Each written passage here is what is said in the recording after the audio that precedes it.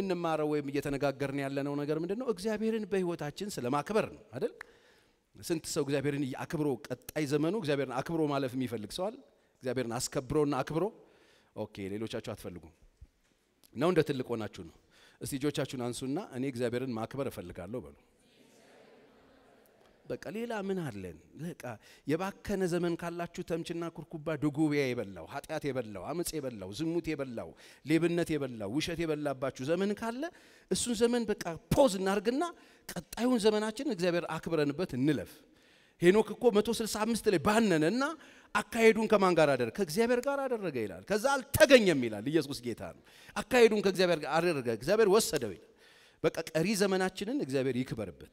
ስለዚህ እግዚአብሔርን ማክበር ትፈልጋለህ ወይ? አዎ ካልከኝ የዛሬ ሁለት ነገር ልንገራችሁ። ወደ ኋላ አልመለስም፣ ጊዜ በጣም አጭር ሰዓት ስለሆነ የሚኖረን ሁለት ነገር ነው የምናደርገው ዛሬ ምንሰጠው ለእግዚአብሔር። እግዚአብሔርን በሕይወቴ ማክበር እፈልጋለሁ የሚል ሰው ካለ አንደኛ እግዚአብሔር አፍህን ብቻ ሳይሆን ሁለንተናህን እንድትሰጠው ይፈልጋል። በሕይወቴ እግዚአብሔርን ማክበር እፈልጋለሁ የሚል ሰው ካለ አፍ አይደለም እግዚአብሔር የሚፈልገው ወዳቸዋለሁ ምናምን እንደሚሉት ሚዲያ ላይ እንደምታያቸው ሰዎች አይደለም። እንደዚህ እግዚአብሔር እየወዳለሁ ምናምን አይደለም። እግዚአብሔር ህይወታችንን ይፈልጋል። የተሰጠ ህይወት እንዲኖረን እግዚአብሔር ይፈልጋል። ስለዚህ አፋችንን ብቻ ሳይሆን ሁለንተናችንን የሚፈልግ አምላክ ነው ያለን። በህይወቴ እግዚአብሔርን ማክበር እፈልጋለሁ የሚል ነገር ካለ ካለሽ እግዚአብሔር አፍህን ብቻ ሳይሆን ሁለንተናህን ነው የሚፈልገው። እግዚአብሔር ብርህን ብቻ ሳይሆን ሁለንተናህን ነው የሚፈልገው። እግዚአብሔርን በህይወቴ ማክበር እፈልጋለሁ የሚል ሰው ካለ እግዚአብሔር ድምፅህን ብቻ ሳይሆን ሁለንተናህን ነው የሚፈልገው። በህይወቴ እግዚአብሔርን አክብሬ ማለፍ እፈልጋለሁ የሚል ሰው ካለ ለእግዚአብሔር አፍ አይሰጠው። አንድ ጊዜ አያጅቦ እግዚአብሔር ጋር ገባና ሰው ልብላው ብለው ጠየቀው። ጅብ እግዚአብሔር ሰው ብላ ችግር የለውም ብላ ክርስቲያን ግን እንዳትበላ አሉ አሉ።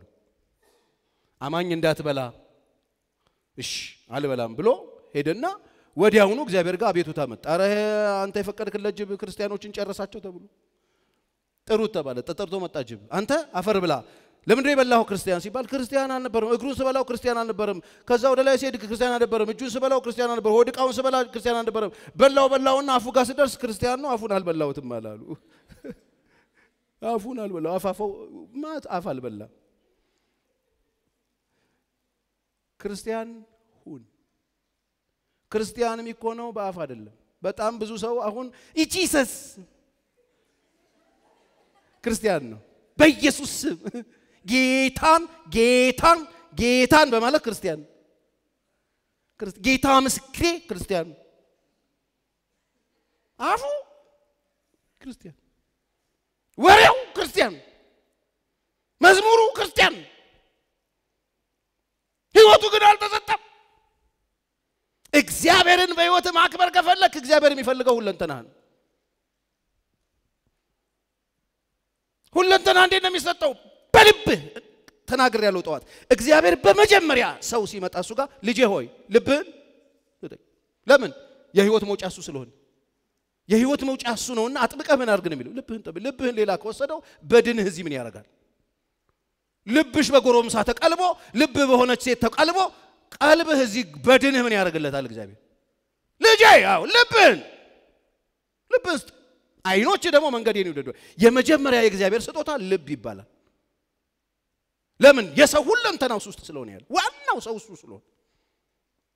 ከዛስ ስጋህን ስጠኝ። አካልህን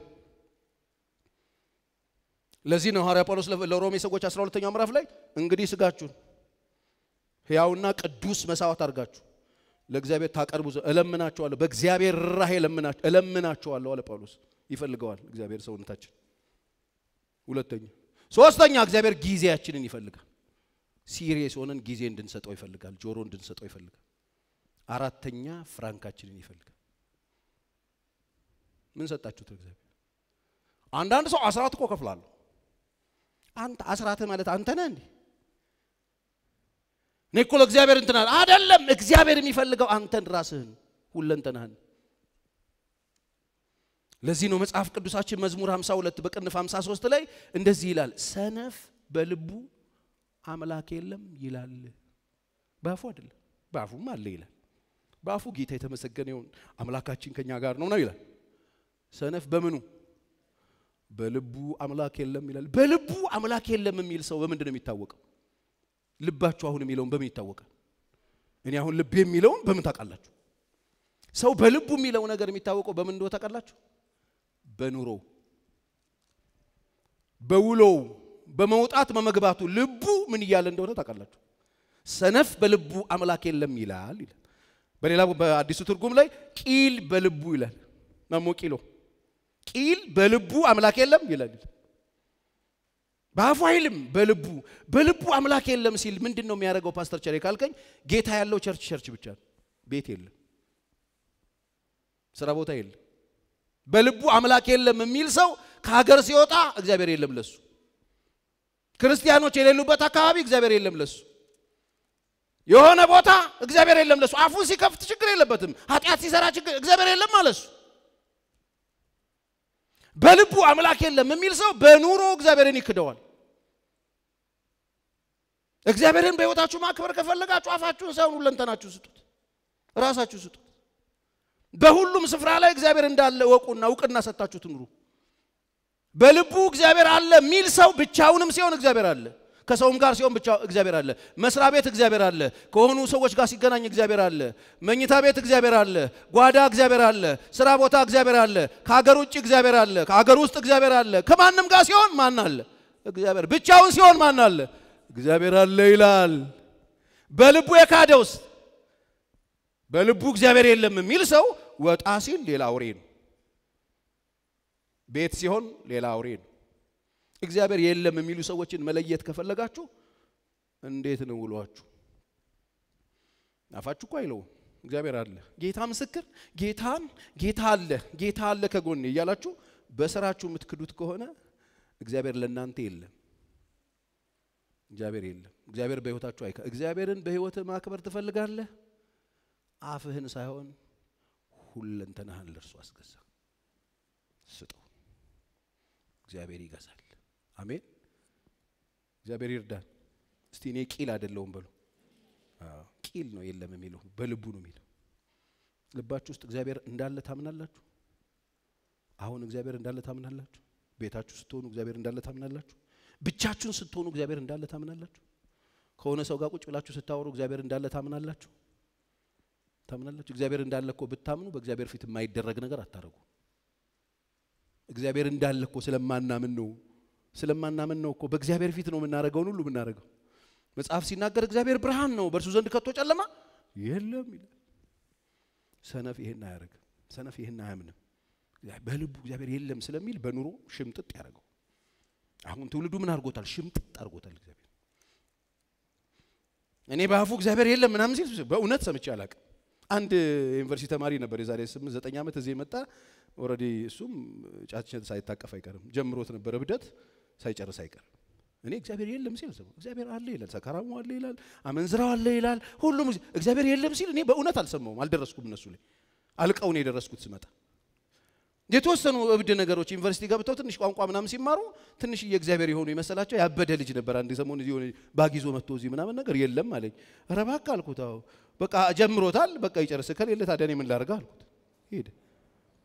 እኔ ያለ ምናምን የለም ከሚል ሰው ጋር እሟገታለሁ እንዴ? already የለም ቂል ነው ይሂድ። እግዚአብሔር ምስክር አለ እናቴ ትሙት እያልኩ እጅህን ልመታ ጥርግ በል። እኔ እሱ የእግዚአብሔር ጠበቃ አይደለሁም።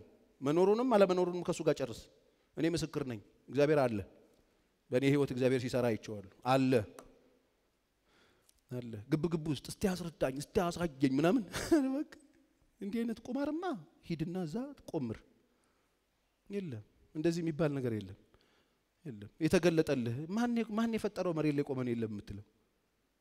ማን የፈጠረውና ማን የሰጠን አየር እየተነፈስክ ነው እግዚአብሔር የለም የምትለው? ማን የዘረጋው ሰማይን እየ ማን ያወጣውን ፀሐይ እየሞክ ነው እግዚአብሔር? እኔ አንተን ላስረዳ? አላስረዳም ጀምሮሃል እብደት ራቁትን ስትሮጥ እንገናኛለን።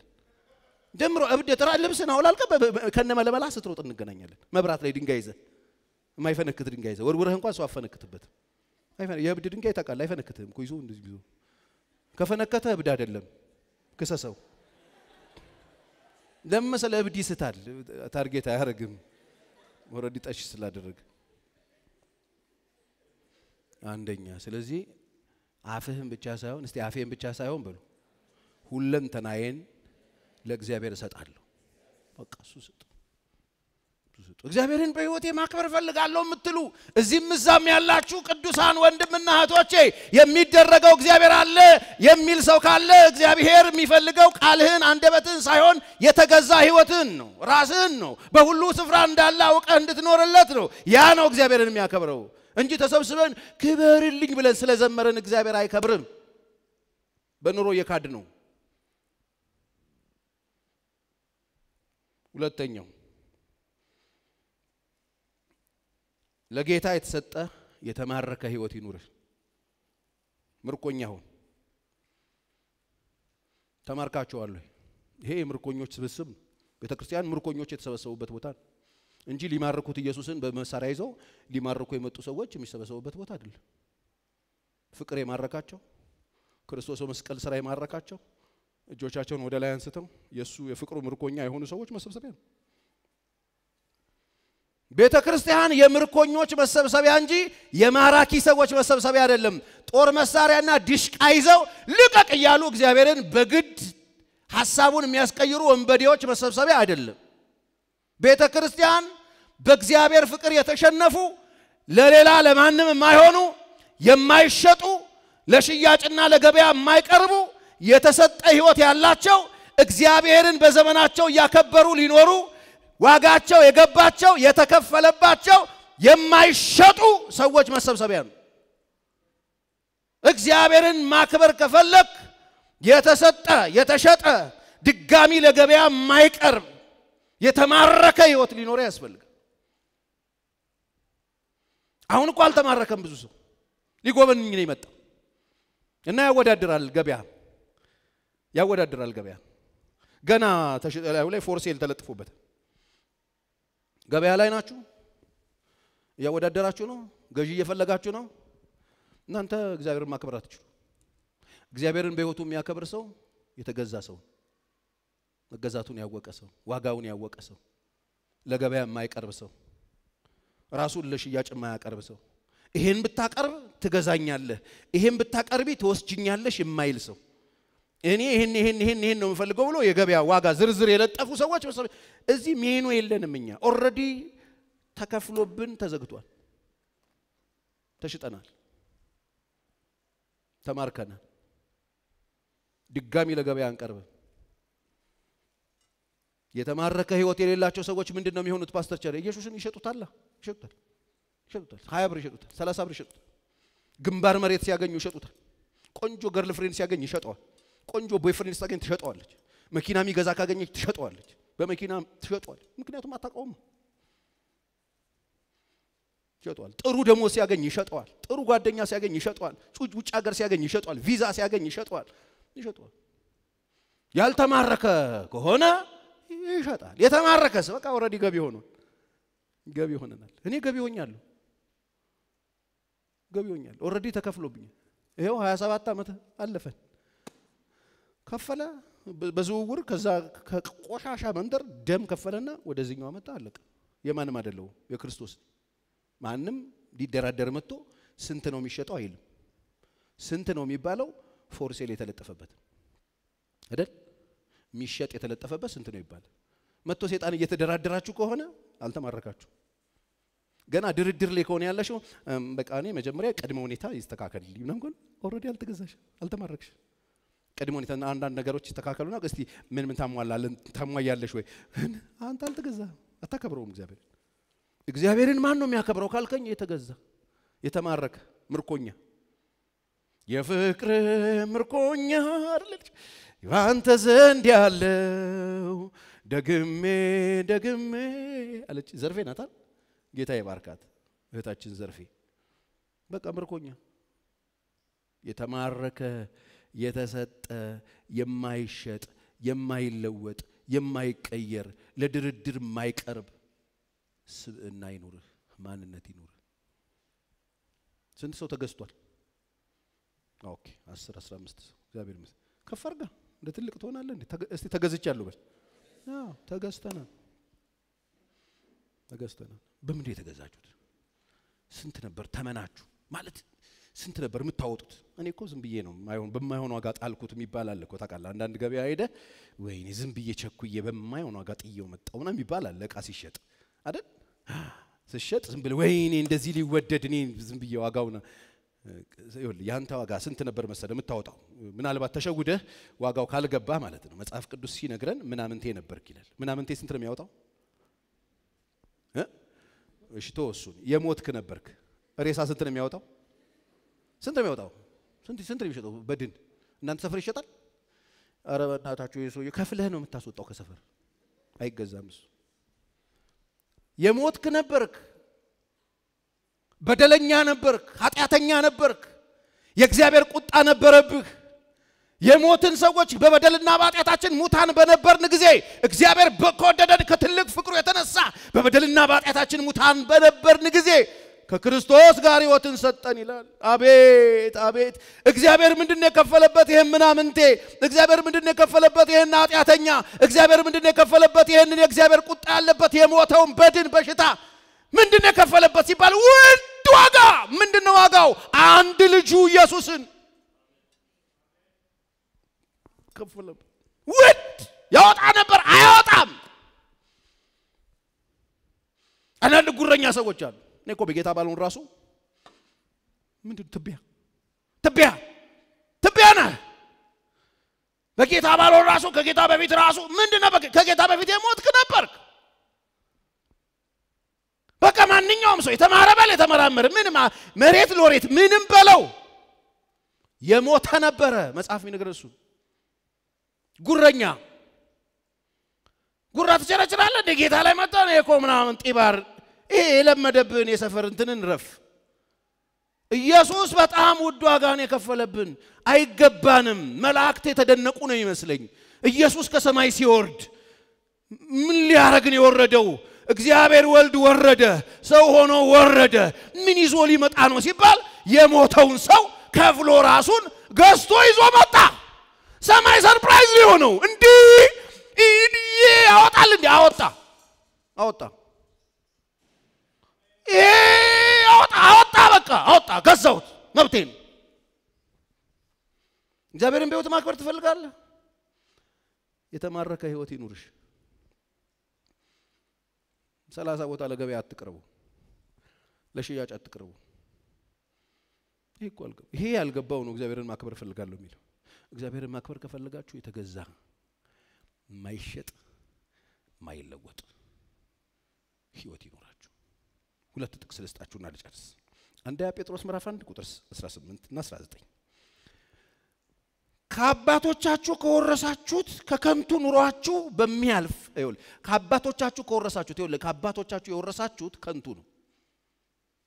ምንም ነገር ውረስ፣ የወረስከው ከንቱ ነው። የከንቱ ከንቱ ነው። ከከንቱ ኑሯችሁ በሚያልፍ ነገር የወረሳችሁት ከአባቶቻችሁ የሚያልፍ ነው። በሚያልፍ ነገር በብር ብር ምን የሚያደርግ ነው? የሚያልፍ ነው። በብር ወይም በወርቅ እነዚህ ሁለቱም ያልፋሉ። ከአባቶቻችሁ በወረሳችሁት በከንቱ በሚያልፍ ነገር በብር ወይም በወርቅ ሳይሆን፣ ክፍያውን ተመልከቱ። ሳይሆን ብር አይደለም የተከፈለብን፣ ወርቅ አይደለም የተከፈለብን፣ ሚሊዮን አይደለም የተከፈለብን፣ ቢሊዮን አይደለም የተከፈለብን፣ ብርም ወርቅም አይደለም። እነሱ ከንቱ ናቸዋል።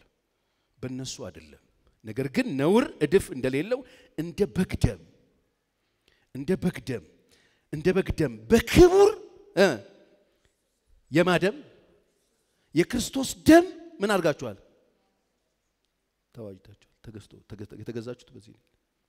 በጣም expensive ነህ። በውድ ዋጋ ገዝቶ ሆኖ የእሱ ያደረገ እግዚአብሔርን በሕይወት ማክበር ትፈልጋለህ?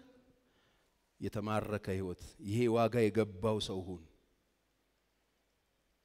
በውድ በልጁ በክርስቶስ ኢየሱስ ደም እንደ ተዋጃችሁ ታውቃላችሁ ይላል። ታውቃላችሁ? ዋጋህን ታውቀዋለህ? ስንት ብር ነው የምታወጣው? ስንት ነበር የምታወጣው? አሁን ስንት ነህ? የሚያልፍ ነገር ብር አይደለም ወርቅ አይደለም የተከፈለባችሁ በጣም ከበግ እንደ በግ ደም ማለት እንደ በግ ማለት እንደ በግ ደም ንጹህ የሆነው የኢየሱስ ደም ነው የፈሰሰው ላንቺ።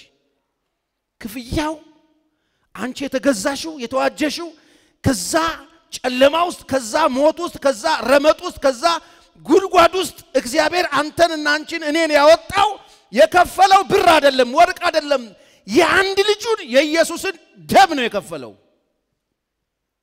በዚህ ደም ነው የተከፈለባችሁ። በዚህ ደም እንደተገዛ ሰው፣ በዚህ ደም ምርኮኛ እንደሆነ ሰው ለአንዴና ለዘላለም ላይሸጥ የተከፈለበትን ማዕተም ተሸክሞ የሚኖር ሰው ሁን። እግዚአብሔርን ማክበር ከፈለግ ለገበያ አትቅረብ፣ በየቅያሱ አትቁም፣ በደሞዝ ጭማሪ አትሸጡ፣ በገንዘብ አትሸጡ፣ በወርቅ አትሸጡ። የተማረከ ህይወት ካለኝ ምንድን ነው መሆነው? ፓስተር ቸሬ የተረጋጋ stable ያደረገ life ነው የሚኖር። ምንም አይነት ሚሊየን አንተ ላይ ሲፈስ ንቅንቅ አትል። ለምን? ከንቱ ኗ። ከንቶችን ሁሉ ከንቱ የሚያደርግ ዋጋ ላይ ላይ አለ። የተከፈለበት ህይወት ያላቸው ሰዎች ያስታውቃሉ። አይነቃነቁም፣ አይነቃነቁም። ሚስት አገባው ብለው ሰፈር አይለቁ። ባል አገባው ብለው ቤተ ክርስቲያን አይለቁ። ገንዘብ አገኘው ብለው ሰፈር አይለቁም። ዛሬ ትንሽ ነገር ሲያገኙ ጸባያቸውም፣ መልካቸውም፣ ባህሪያቸውም፣ ሰፈራቸውም፣ ቀበሌያቸው ሁሉ ነገራቸው ይቀየራል ይቀየራል። በገንዘብ ሰዎች ይቀየራሉ። በደሞዝ ጭማሪ ይቀየራሉ። በትዳር ይቀየራሉ። አዲስ መኪና ሲገዙ ይቀየራሉ። የተሸጠ ህይወት ካለስ የማይሸጥ ከሆነስ የመጡት ነገሮች አንተን ንቅንቅ አያደርጉ። ክርስቲያን ሆነ ጀምረሃል፣ ክርስቲያን ሆነ ትጨርሳል። ሰው ጤፉ አትሆንም። ጓደኞች ላይ አጠግብም። መሬት ረግጠህ ነው የምትኖረው። ጌታ በህይወት ይከብራል። እግዚአብሔር በህይወት እንደዚህ የሆኑባቸው ሰዎች የሉ ቀይር ያሉ በስሜ ማን ትጠኝ የታቂኛለሽ የሚሉ ማለት እኔ አወቅሽኝ እኔ አይ ይልሻል። ምን ተፈጠረ? አሁን አሁን አሁንማ ትንሽ ትንሽ ሌቭላችን ከፍ ብሏል። አሁን እኮ ራቫ እኮ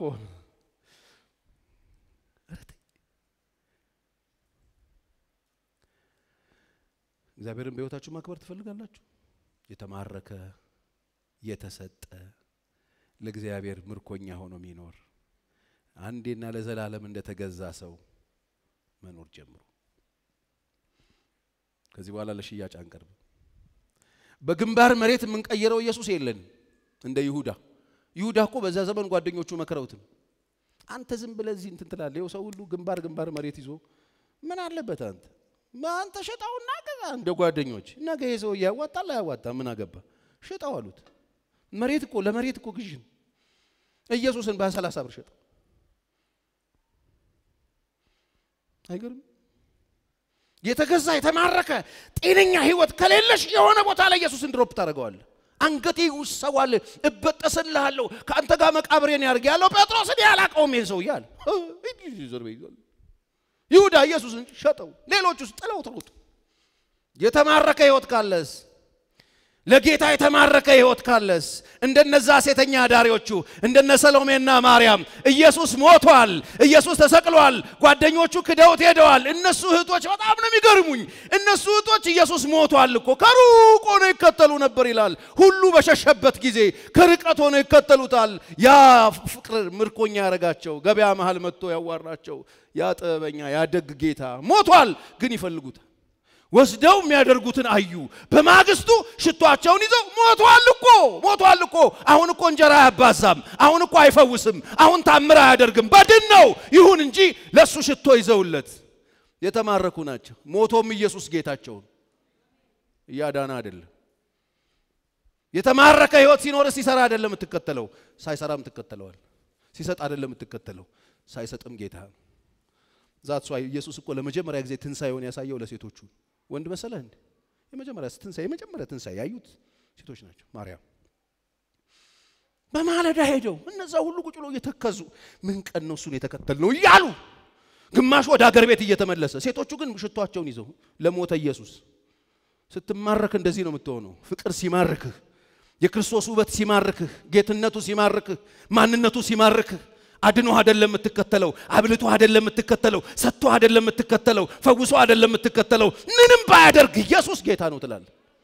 እስቲ ኢየሱስ ጌታዬ ነው በሉ እስቲ።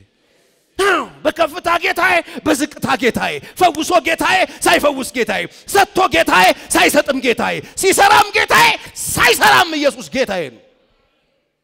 ጌታዬ የሰራ ጊዜ ጌታዬ፣ ያልሰራ ጊዜ እኔ ለገበያ ውድድር እየቀረብኩ እንቁልልጭ የምጫወትበት ጌታ የለኝም። ካልሰጠኸኝ እሄዳለሁ እያልኩ ማስፈራራው ጌታ የለኝም። ስጋዬም በጥርሴ ነክሼ እከተለዋለሁ። ጌታን በሕይወታችሁ ማክበር ትፈልጋላችሁ? የተሰጠ ሕይወት ይኖራችሁ። የተገዛ ሕይወት ይኖራችሁ። የተማረከ ሕይወት ይኖራችሁ። ተማርካችኋል።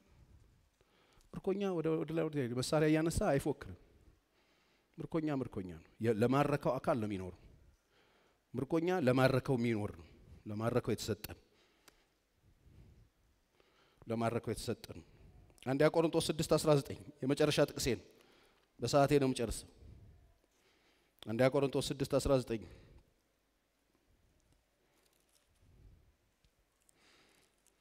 ወይስ ስጋችሁ ከእግዚአብሔር የተቀበላችሁት በእናንተ የሚኖር የመንፈስ ቅዱስ ቤተ መቅደስ እንደሆነ አታውቁምን? አታውቁም ወይ? ስጋችሁ በእናንተ ዘንድ የሚኖር የሕያው የእግዚአብሔር ቤተ መቅደስ እንደሆነ አታውቁም? እሱ ሊኖርበት ከዛ በዋጋ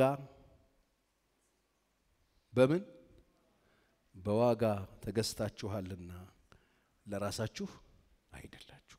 ስለዚህ በስጋችሁ እግዚአብሔርን እስቲ በዋጋ ተገዝቻለሁ በሉ እስቲ። የራሴ አይደለሁ። ተገዝታችሁ ገዢ አካል አለ። አምላክ እግዚአብሔር ምን ከፈልክ? ልጄን ልጄን አንድ ልጄ ኢየሱስን የልጄን ደም እየጮኸ ፊቴን አዙሬበት ኤሎሄ ኤሎሄ እያለ የከፈልኩት ላንቺ ነው። የከፈልኩት ላንተ ነው። የተከፈለብን ሰዎች።